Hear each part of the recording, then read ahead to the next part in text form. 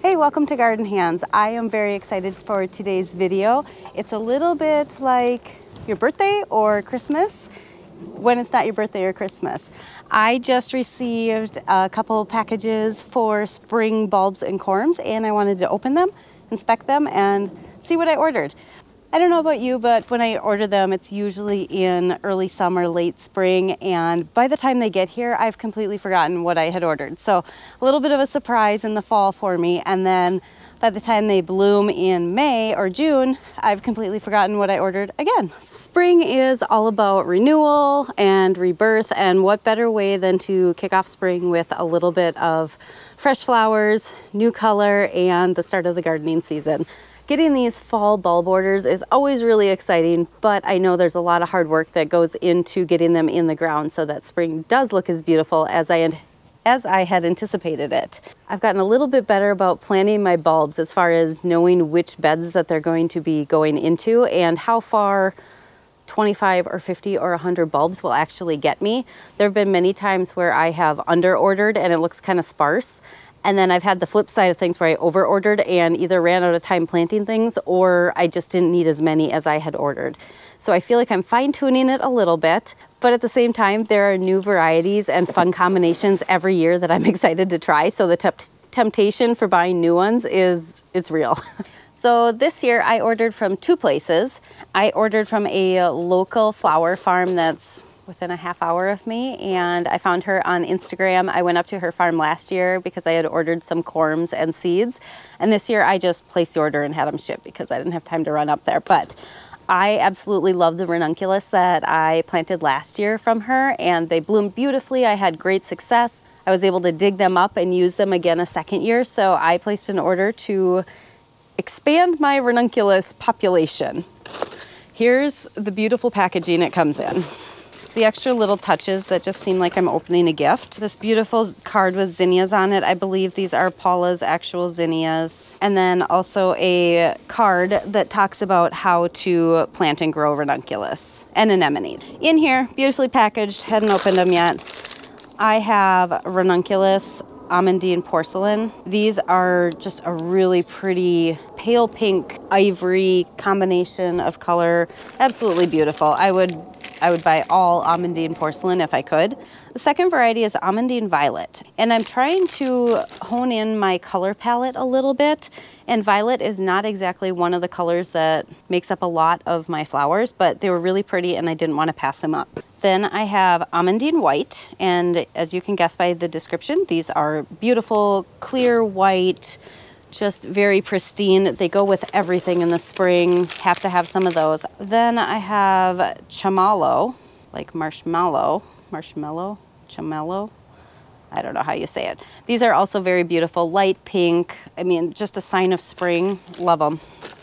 They're really fluffy and ruffly. They kind of look like peonies. Ah, shoot. Try not to drop them. And then uh, Amandine Barbie. Actually, I forgot I had ordered these. Barbie is more of a bright pink. Uh, Barbie ranunculus were the first ranunculus I had ever planted and I love them so much that I was determined to make them succeed. It took a few years for that to happen, but I feel like I'm on the right track. I'm not 100% there yet, but I'm getting closer. The box elder bugs are real this year. I might have probably killed all of my Barbie ranunculus from three, four, five years ago. So I will start over with these and hopefully the new tips and tricks that I've been implementing will keep this keep the 20 of them that I ordered alive and prospering. My next order are from Colorblends. And if you watched any of the previous years, I order the bulk of my tulips and daffodils, allium and hyacinth, and some other things like Spanish bells or crocus from Colorblends. Colorblends is fantastic. They have a wealth of information on their site. The selection of any of those types of flowers is wonderful. You can find pretty much anything you want. Um, they've been very helpful. I've had to contact them several times and extremely helpful and prompt to respond. The quality of the bulbs has been phenomenal every time we've ordered, so they will stay at the top of my list for ordering. And I'm curious what I ordered because I don't quite remember.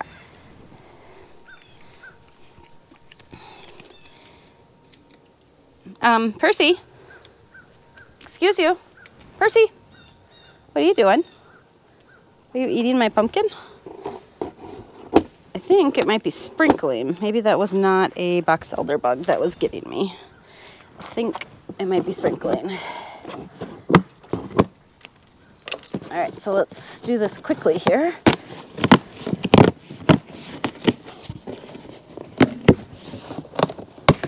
Ah, yes. All right, so I got a packing list. What's in there, bud? The other really nice thing about Colorblends is they pack them in these mesh bags, which are reusable, and they have tags on them that aren't paper. They're like a wax paper. So in the rain or slobber, it's your label is gonna stay on there. Um, we have planting guides, this is just a little thank you postcard. There's the planting guide. All right, so I'm going to close this back up because it is sprinkling now. And then in my other package, I have a crate here. So with some of the orders, they will put them in these plastic crates, which is really nice because I've been using these for harvesting or growing certain flowers. Here's my two, my two buddies here.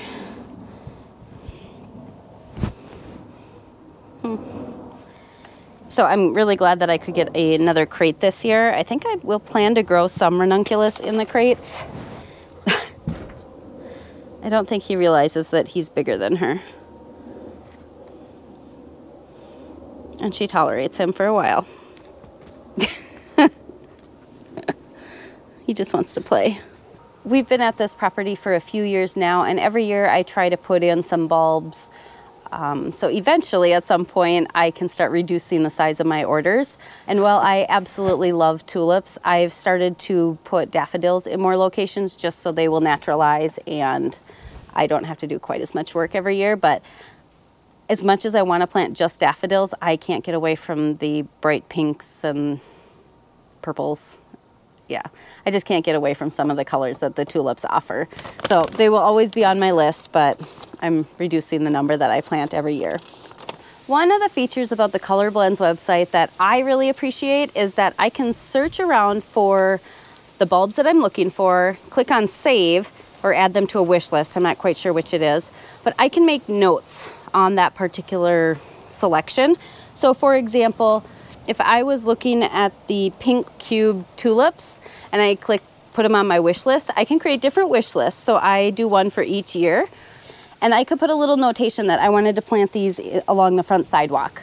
And that really just helps me when the bulbs come so that I know I have a plan for where they're supposed to go and I'm not making that decision in the fall when I may not remember exactly how things looked in the spring. So it's a nice planning tool in the spring when I'm walking around and I see what I need or where there's a gap or an opportunity and I can label where it should go. That way there's nothing in my cart that doesn't have a home when I place the order.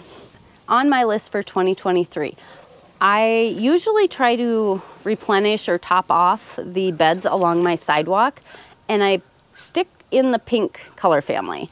Um, it's just a really bright, vibrant color, not only because it's spring and I want some fresh color that early in the year, but you can see it from further away, so it really makes an impact. So I ordered pink, the Pink Cube Tulip variety. This is a really great blend because it offers you three different tulips that bloom from like early in the tulip season to late in the tulip season. So you have a little bit lighter pink, some might have a little bit more of a yellow tint to them. I also am planting out here a double variety called Aveyron. This is a really pretty, it's double, it almost looks like a peony. It's a late bloomer in the tulip season, but it's just a nice, really rich pink double tulip. The other tulips that I'm planting in the sidewalk are from the Smooch blend. And I believe there are two, it's a lighter pink and a darker pink. To be honest, I probably couldn't pick them out in my sidewalk because I have a bunch of different varieties, but they're a reliable bloomer. Um, there's always lighter pinks and kind of just a nice solid Barbie pink.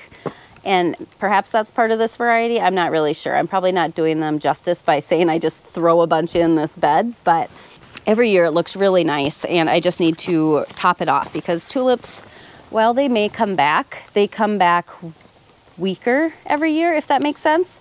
So if I plant 100 bulbs, you know, all 100 will come up in 2024. 90 may come up the next year, maybe 75 the year after that, maybe 60 or 50% the year after that. So they definitely don't naturalize like daffodils do. But if you top them off or just add a few every year, you should still have the very pretty show of color.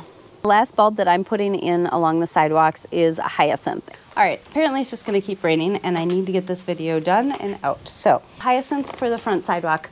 I went with fondant, which is a really lovely little pink hyacinth, shorter. Probably put it in the front of the bed. Um, I think they naturalize a little bit. I am not as familiar with hyacinth other than I know they smell wonderful. One of the areas that I have yet to plant daffodils is along my driveway. Along each side of my driveway where there's a culvert, I have kind of a flower bed carved out because it's hard to mow around those. And I've decided to put daffodils in these culverts. So there's a little bit of spring color as you're driving down the road in the spring. We have daffodils along the woods. This was just a new flower bed that needed a little touch of spring colors.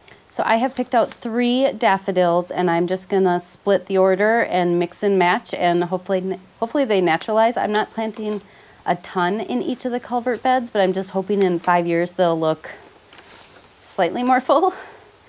One of the varieties is called Sherborne. So it's a yellow tulip, but the inner ruffles or ribbons are more of a soft orange. Really pretty, very striking. The other one I have that kind of looks similar is called Tahiti. I have Tahiti in one of my other beds, but I really like it. It's just very striking, very unique looking. Yeah, I think it'll be really lovely in here. And if it can naturalize enough, then maybe I can divide it and plant it in other areas of the yard as well. And then the last variety that I'm planting in the culvert beds is called Lucky Number. And to me, I'm sure it's a very lovely daffodil but it looks more like the typical daffodil you think of when somebody says daffodil. It's yellow with a yellow cup. I think it's gonna be lovely and I'm excited to see what it looks like. Another area where I'm hoping to plant some daffodils is over by the kids' swing set.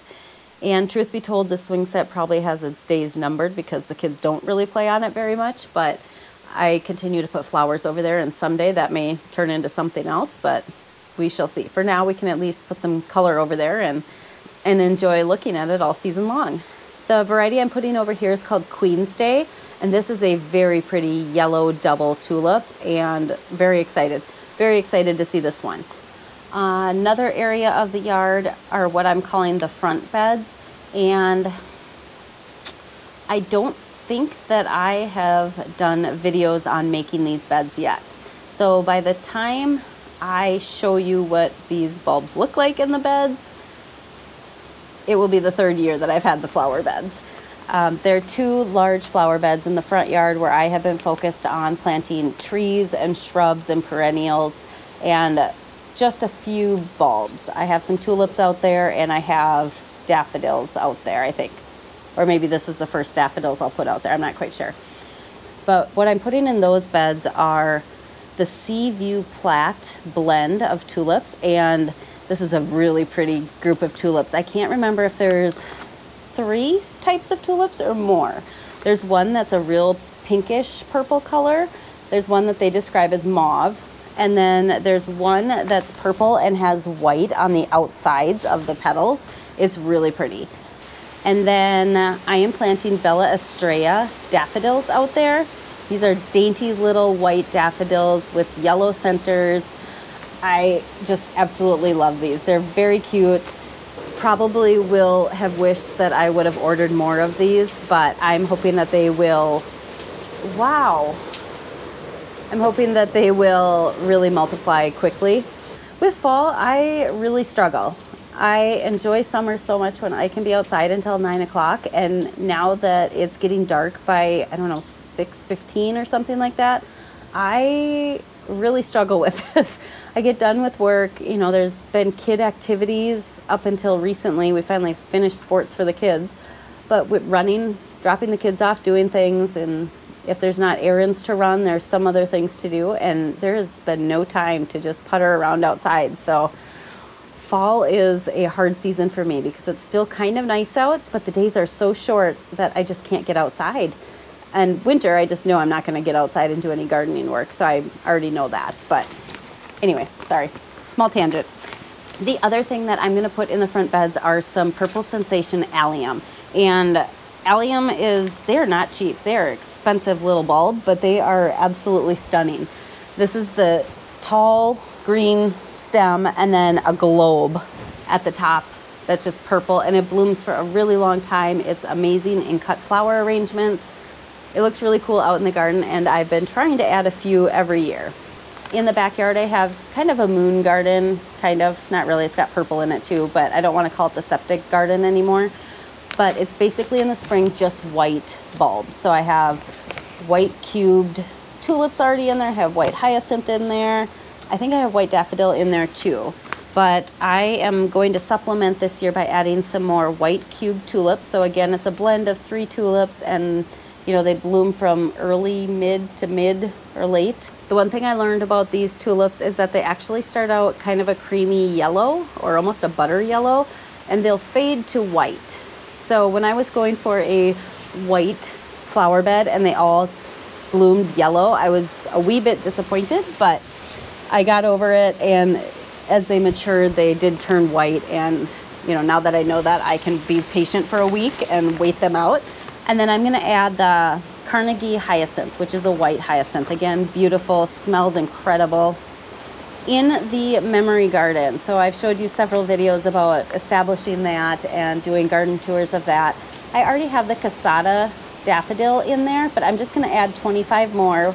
Cassata is a beautiful, I think it's called a Corona Split daffodil. It has the lighter outer petals, and then the inner trumpet is actually, what do you call it, like reflex, where it's open.